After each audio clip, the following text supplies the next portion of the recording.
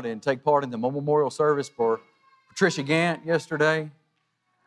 Not only was the family comforted by your presence there, but they were also very much encouraged and uplifted by that. And I was too. And I really appreciate you taking your time out of your Saturday to do that. It meant a great deal to me and it made a great deal to them as well.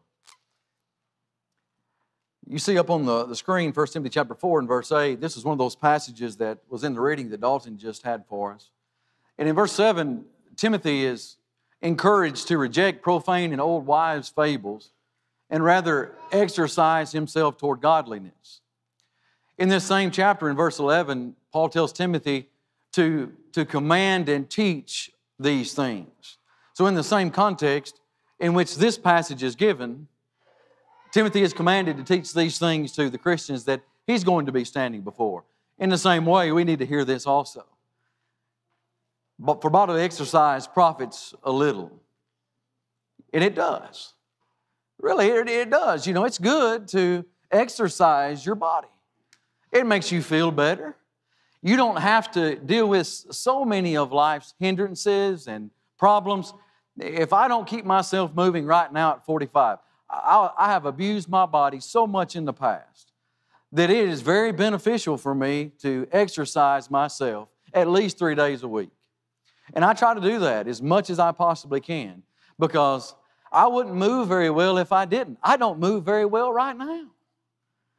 And if I don't keep my body moving, then I'll be even more stiff and I'll have even more problems. And so Paul was right. Bodily exercise does profit a little. But godliness is profitable, having the promise for this life, but not only this life, but for the life that is to come. So, exercising ourselves toward godliness is one of the most important things that we can do. It is essential to us in our walk with the Lord. If we're going to be the disciples that we need to be, then we're going to have to make sure that we are exercising ourselves toward godliness daily because that is so much profit, or so much more profit to that than there is physical exercise.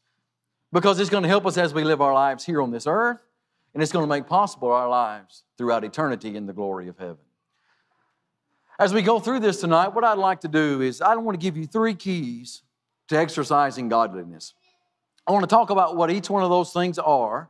I want to give you an example from the Old Testament to show how each of these things was in the life of the individual we're going to use as an example and how this person lived a life of godliness to the very end. And also, we're going to make some application to ourselves in regard to these things. First of all, what I'd like to start with is that the first thing that is key to us exercising godliness in our lives is conviction. We must have conviction as people of God. Well, what am I talking about when I say conviction? Conviction defined is just being convinced and confident that something is true. Why do I go try to go to the gym three days a week? Well, I'm not trying to become a bodybuilder, obviously. You can look at me and see that.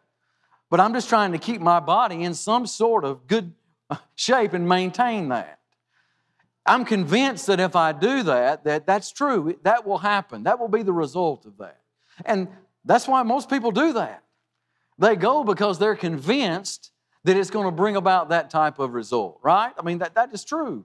That's why we do that.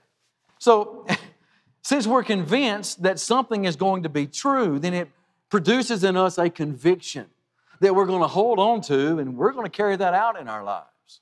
We take that to the realm of living before God. And I want you to look at the example of Joseph with me here in Genesis chapter 39. I want to bring you to where we are in the story here. We know that Joseph was the favorite son of his father Jacob. His brothers hated that. So much so that they conspired a plan to get rid of him. They drew, he was sent out by Jacob to check on them as they were shepherding the flocks. Well, they conspired this plan to where they almost killed him. And Reuben, Reuben talked them out of that. But they sold him away to Ishmaelite traders who carried him down to Egypt. And as he gets down to Egypt, he finds himself being in the service of Potiphar, the commander of the Egyptian army. And that's where we find him in chapter 39. After all of this trouble, he's been taken from his father, taken from his homeland, taken to a foreign country, and put into slavery. But even as we find him in Genesis chapter 39, God's still taking care of him. And there's a reason for that. I want you to pick up with me at verse 6 in the life of Joseph. Speaking of Potiphar, the master of Joseph at this time, it says, So he left all that he had in Joseph's hand, and he did not know what he had except for the bread which he ate. And Joseph was handsome in form and appearance. Now it came to pass after these things that his master's wife cast longing eyes on Joseph, and she said, Lie with me. But he refused and said to his master's wife, Look, my master does not know what is with me in the house, and he has committed all that he has to my hand. There is no one greater in this house than I, nor has he kept back anything from me but you, because you are his wife. How then can I do this great wickedness and sin against God? Did you see the statement that he makes? Listen, he's at least 400 miles away from home. None of his family's around. No one that really knows Joseph from back home can see what he's doing right now. And now there's this great temptation. His master's wife is longing for him. And he's in a position right now to where he could very well do that. And nobody else is watching either. Potiphar's not even at home. What a temptation it would be so very easy to fall to if he did not have conviction that such was a sin against God. Did you notice how he said that he couldn't do this great wickedness and sin against Potiphar? That's not what he said. I cannot do this great wickedness and sin against God. Why would he say something like that? Why would a man 400 miles away from home with the eyes of his family no longer on him say something like that? It's because that he knew no matter where he was and who was around him or who was not around him, that God was always watching. That an all seeing God always had his eyes on Joseph. And Joseph knew that he could not sin against his God because he had conviction that God is, and he is a rewarder of those who diligently seek him. If I can quote Hebrews 11 and verse 6. Because Joseph shows us that in the life that he's living. He's not about to commit fornication. He's not to, about to give himself over to sex outside of the marriage relationship because it's a sin against God. It was then and it is now. And people with conviction of God and who God is and what God's will is in regard to this matter or any sin in regard to the lust of the flesh, the eye, and the pride of life, they are going to do their best to hold on those convictions and not sin against God. What a powerful example that we have. That's a man of conviction. In the same way, as people of God today, we must have the same type of conviction. We've got to understand as well that we are serving under the same God. He is still all knowing, all powerful. He's still present everywhere. There's nowhere that I can go to get away from God. I can travel 400 miles away from home, and none of you can put eyes on me. But guess who still has eyes on me? God still has eyes on me. And I need to live with the conviction that God is. And He is a rewarder of those who diligently seek Him because those are the ones who please God. Because they're people of faith that's coupled together with conviction. And Peter speaks of this in 1 Peter chapter 1 as he's writing to Christians, and the application can be made to us as Christians today. Notice what he says in verse 13 Therefore, gird up the loins of your mind, be sober, and rest your hope fully upon the grace that is to be brought to you at the revelation of Jesus Christ. As obedient children, not conforming yourselves in the former lust, as in your ignorance, but as he who called you is holy, you also be holy in all your conduct, because it is written, Be holy, for I am holy.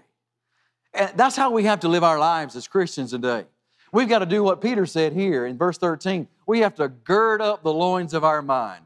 We may not understand what he's talking about there, in the first century, people obviously wore long garments. And if they were going to go do some, some vigorous work, or they, even if they had to run somewhere, they would have to take up their garment and bind it up around them so it wouldn't get in the way and be a hindrance. Peter takes that to the mind. He said, You gird up the loins of your mind, you get your mind prepared. You be sober. Don't let anything be in your life or influence you that will deaden your seriousness toward you being focused on your convictions in regard to who God is and what He wants for you. Keep that focus in your mind. Also, you rest assured that there's something in front of you that is never going to disappoint you, and that's the grace of God. Sure, we've accessed it right now by faith, but it has not yet been fully realized. But one day when Jesus returns again at His second coming, then that grace is going to be fully realized because He's coming to take us home. But we've got to have conviction that that's real, that that's so. And that's going to dictate the way that I live my life. My mindset and my outlook on life is going to be geared toward that motivation and that hope. And what's it going to cause me to do? I'm going to be obedient. I'm going to be, obe- be obedient because, because of what God has done for me. I'm not going to conform back to the ways of the world. No, I'm going to transform now. And I'm not going to be drawn into these lusts of the flesh, but I'm going to, I'm going to keep working, keep striving to hold on to my convictions so I can battle through those things and overcome those things. Why? Because I have been set apart to a holy God. If someone has been set apart from the sinner to the saint, he's been set apart to a holy God. So, what does that make me as a Christian? It makes me holy. And I can only continue to be holy if I strive to serve God in a way that He's revealed to me in His Word. And that's going to take conviction, isn't it? That's going to cause me to be convinced and confident that God is real. His will is true. And it's the most important thing in my life. And if that's the case, no matter what temptation may arise, no matter what trial can come upon us, if we will keep our minds focused on our convictions in God, and what He's revealed, we, like Joseph, with conviction, we will be able to exercise godliness in this life.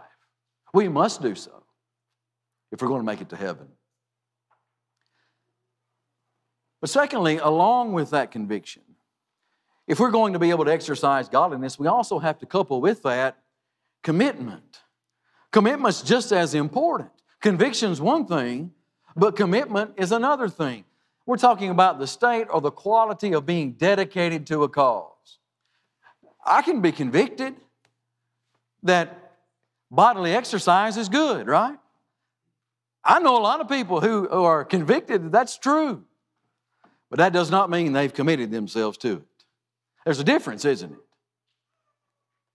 And because that I realize that that is good for me, I'm convicted by that, but at the same time, I'm committed to it because if I don't commit myself to carrying out that exercise, it's going to be no good to me. Just believing that it's good is not enough. It's committing myself to carrying it out, being dedicated to the cause of doing that three times a week. It's essential for my health. I'm convicted of that. But how much more when it comes to godliness? What about if we go back to our example of Joseph? Let's pick up where we left off. He didn't lie with Potiphar's wife, he wouldn't do it. And she didn't like it.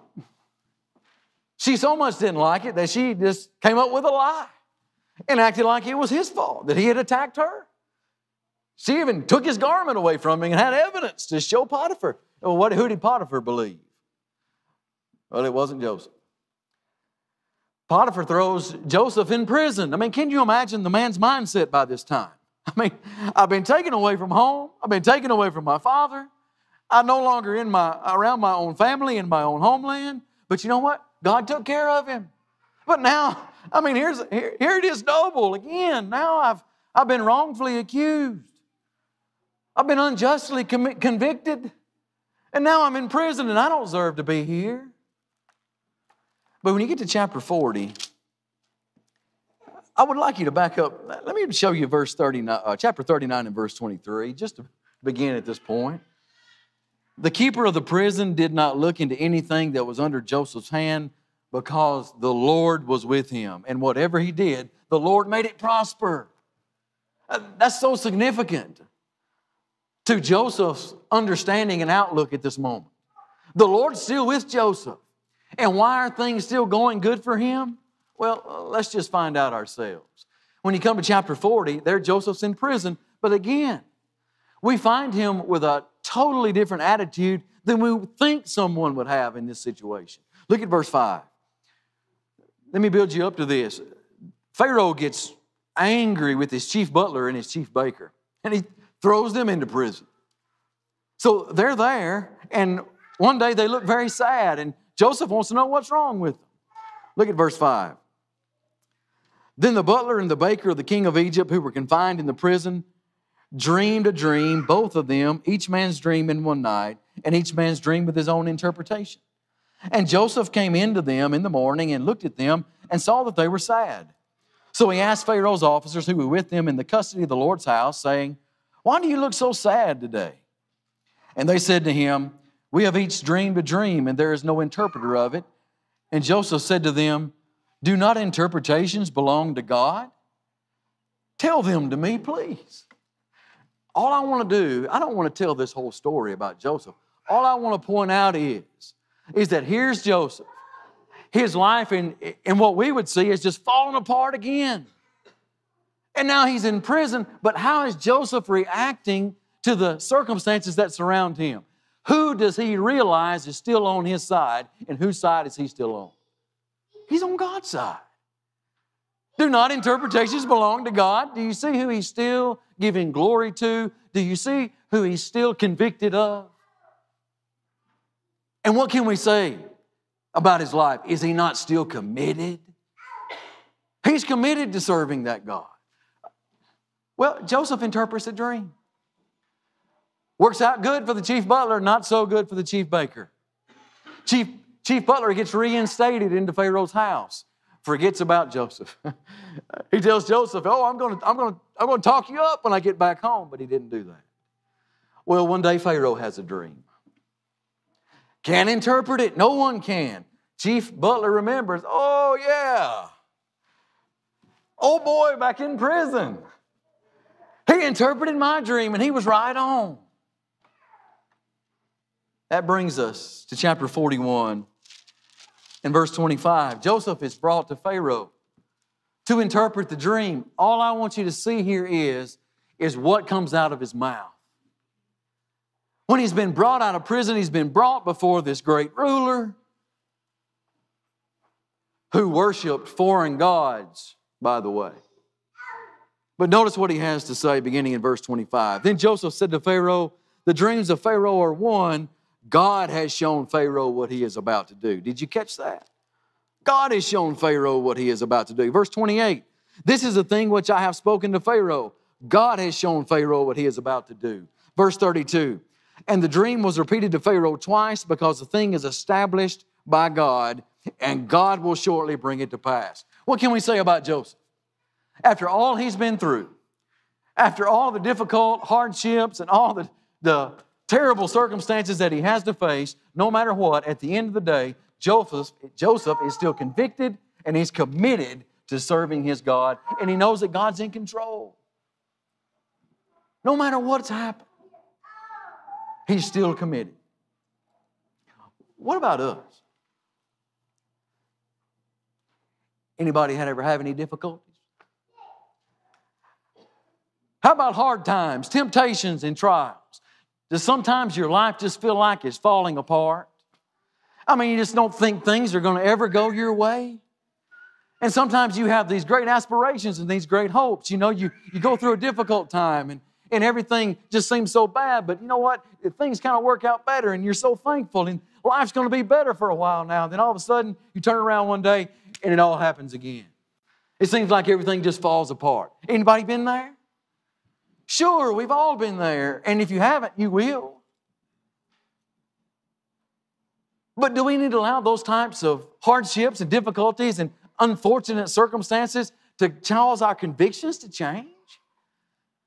To cause our commitment just to fall apart? Well, absolutely. The answer would have to be no.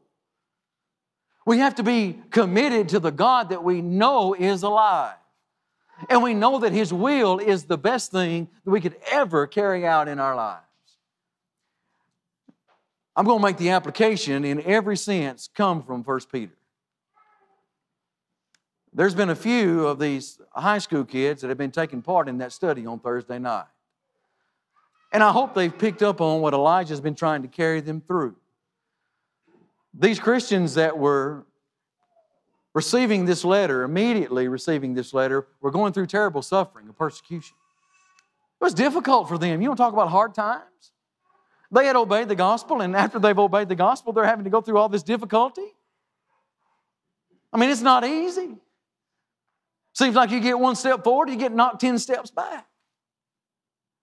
But Peter reminded them that you've had conviction that's brought you to serving this God through Jesus Christ.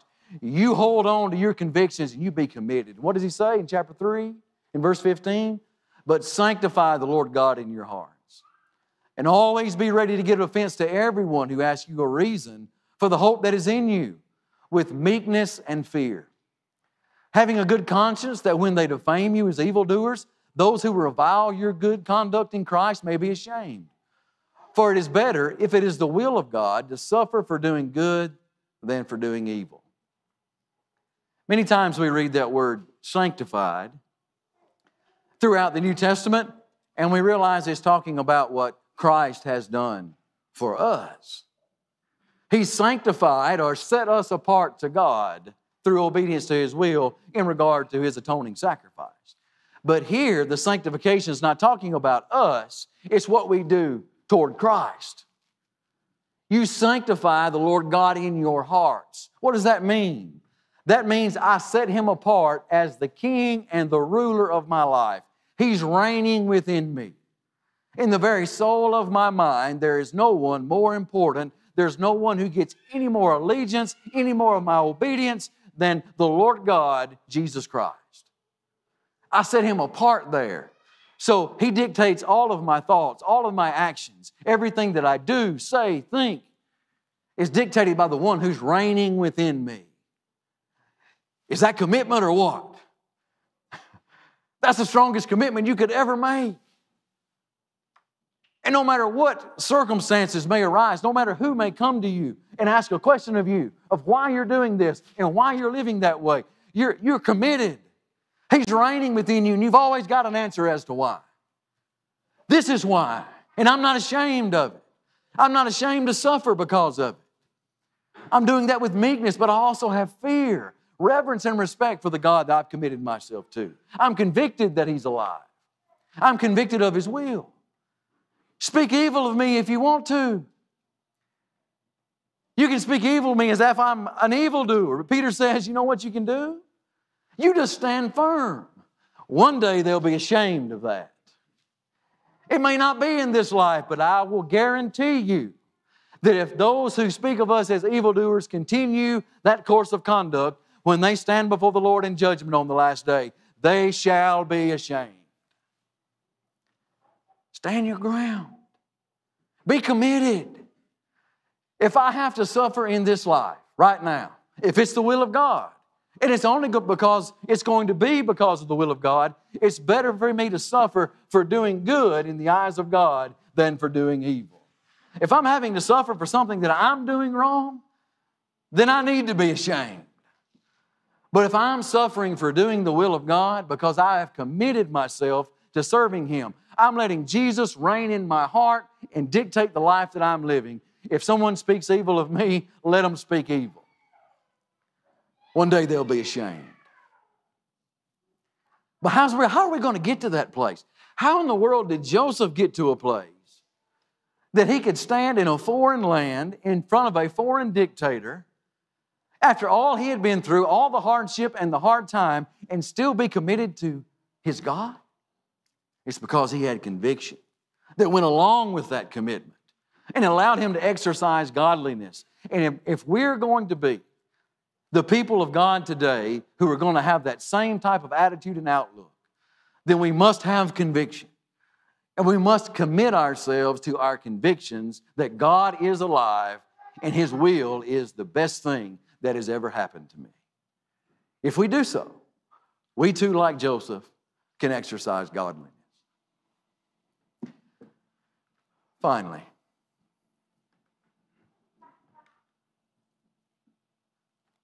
there's determination. It's one thing to be convicted that you need to go exercise. And we can all understand that, uh, you know, it's good for us. It can help in some areas.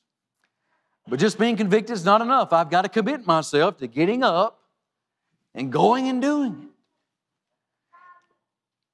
It'd Be much easier just to sit on the couch. I mean, it would be much easier just not to do it because it, it takes effort. You know, it, it's not always easy. You've got to make time for it. And that's one of the problems that I find myself having is making time for it. But because I'm convicted of it and because I want to be committed to it, I have to be determined to continue to carry it out. Because I realize the good there. I've got this firm and fixed intention to achieve this desired end. And you know what that desired end is? Just so I can keep moving. I mean, some of you may feel the same way. Well, how, how much more when it comes to our, our life before God? What about Joseph? Our example has now been brought before Pharaoh. He has shown Pharaoh that he can interpret dreams. He interpreted Pharaoh's dream, and Pharaoh saw that the thing was good. He thought it was so good that he took Joseph and made him second in command. No one greater in Egypt except Pharaoh himself. You know what also he did? He gave him a wife. Do you know who that wife was the daughter of? The priest of On. The priest of On was the priest of the sun god in Egypt. His father in law was the priest of a false god. Joseph's living in a land that is not his own. He's 400 miles away from home. He's living in the midst of a bunch of idolaters. People who don't recognize his God and could care less about it. He's got family members that are close to him, one of which is the priest of the sun god, the false god that many people in Egypt worship. Do you think those could be some highly influencing factors? They very well could be. Even if a man has conviction, even if a man has been convicted, committed to serving his God, that could be a difficult situation. As the story goes on, as Joseph's ruling in Egypt, there's a famine that comes across the land. It also affects the land back home.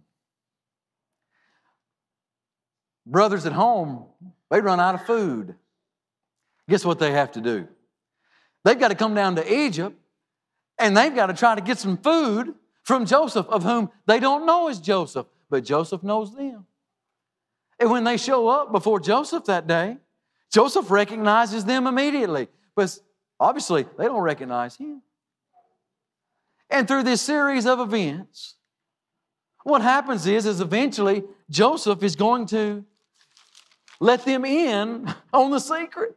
He reveals himself to his brothers in chapter 45. But what I want to point out about this is, is after all this time, after these years that he's been in Egypt, not only in the difficult circumstances, but now he's been brought out of prison.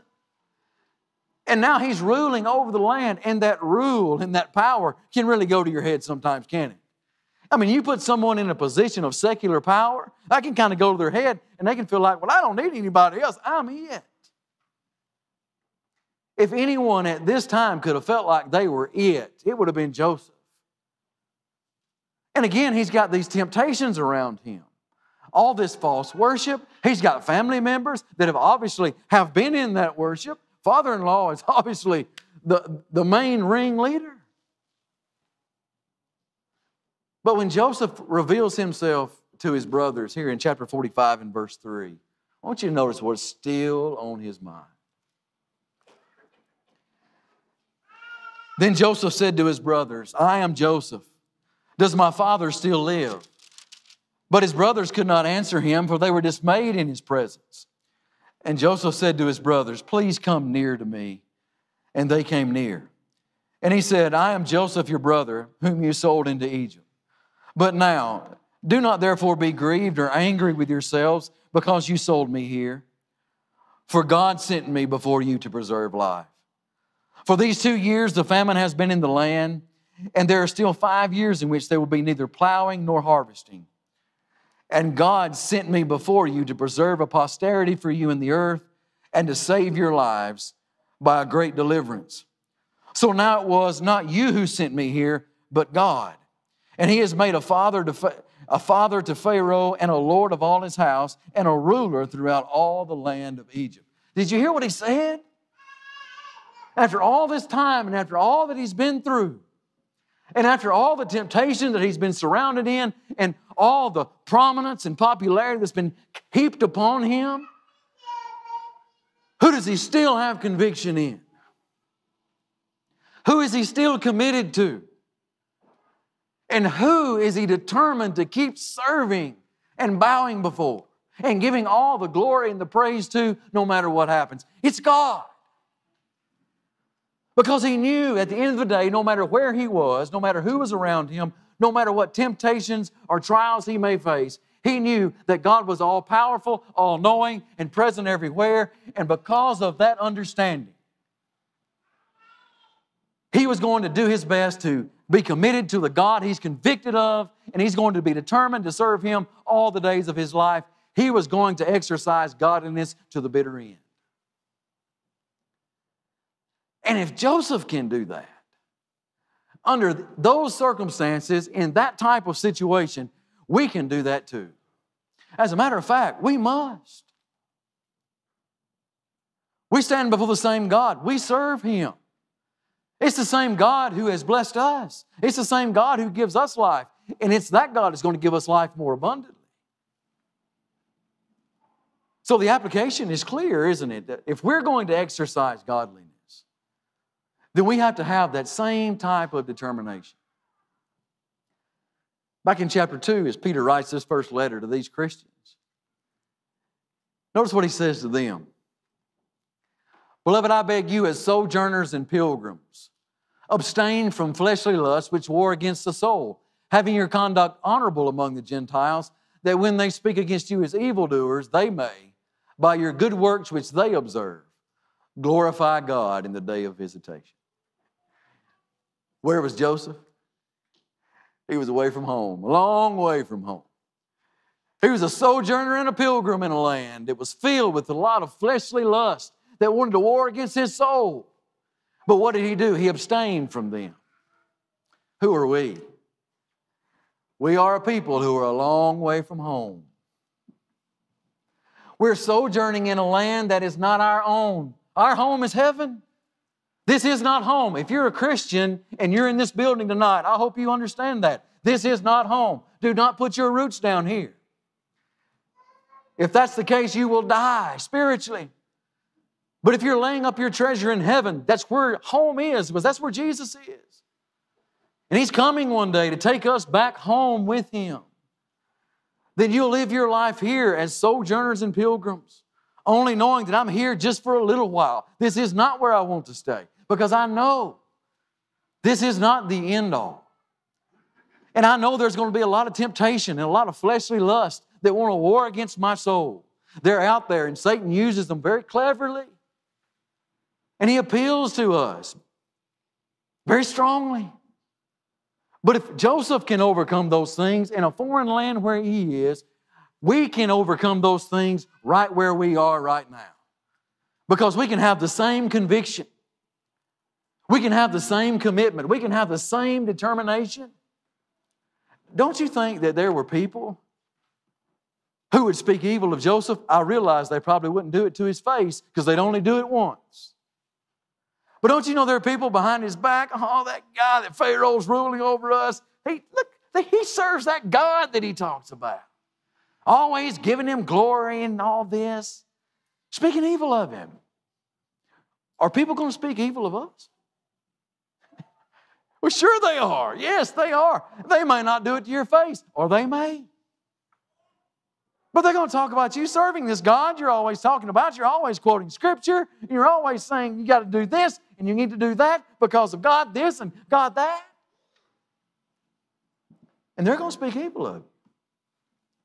let them speak evil.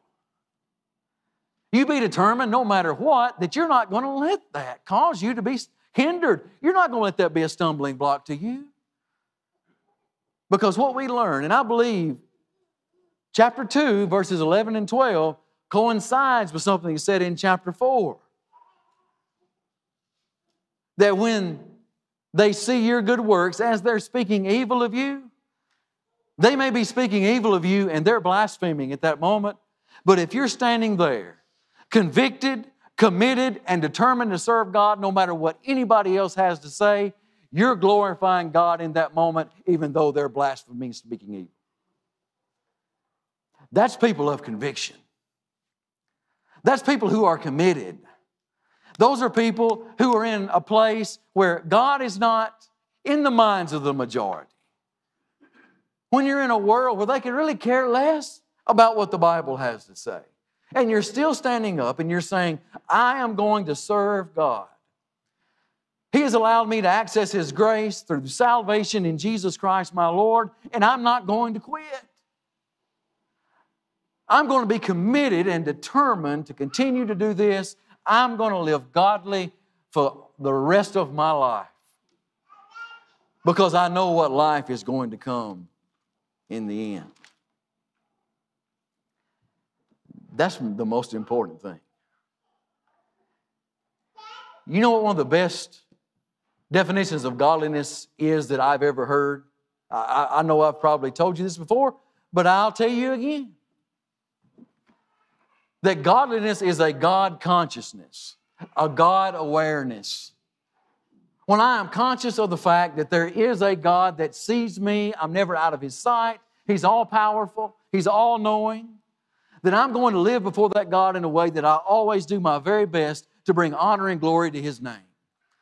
I'm going to live before Him in a way to the best of my ability that I show my appreciation and gratitude for all that He's made possible for me.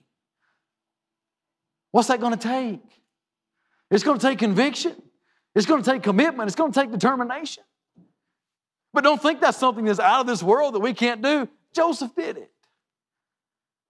And he's given as an example that we can do that too. Listen, bodily exercise only profits a little, I get it. That, that's just Paul's illustration. It's just mine too. Because no matter if I go back to the gym a day in my life, it is never going to be as important as me exercising myself toward godliness because it's profitable for this life and most importantly for the life. So, no matter what you do, if you don't want to go to the gym, that's your choice. You don't have to. You may not get around very well. You may have trouble in this life, but that's just for a little while. That's our choice. But we do not have the choice as to whether or not we're going to exercise godliness. It's a must. It's, it's, it's necessary if we're going to get to heaven. But what the Bible wants us to know is that we can do it. We can do it because Joseph did it. And Joseph is one of those people that we have in Hebrews chapter 11 that says, by faith, Joseph. When he was dying, made mention of his departure of the children of Israel and gave instruction concerning his bones. What's my point? My point is that when Joseph came to the end of his life, he died in faith. And he exercised godliness right up to the moment that he died. And if he can do that, we can do that too. How are we going to do it? We're going to do it with conviction. We're going to do it with commitment. And we're going to do it with determination. With our God's help, we can do it and we can go to heaven. And tonight, I hope this has encouraged you to do just that. If you're here tonight and you're not a Christian and you haven't made possible your salvation through Jesus Christ, we want you to know that there's no better time than right now to do that. If you understand what the Bible teaches in regard to that, if you need to talk about that more, if you need more understanding, we're here to talk with you about that. Please come to me, come to Andrew, come to one of our elders. Just make it known to someone that you have questions. We're here to help you get to heaven. And tonight, if you haven't been exercising godliness as a Christian, as you should, There's no better time than now to ask for the prayers of the local church. You may need help. You may need to study something. You may have some hindrance in your life that's causing you to wander and waver, but it doesn't have to remain that way. If we can do anything tonight to help anyone make their life right with God and begin exercising godliness, won't you come while we stand and we sing this song?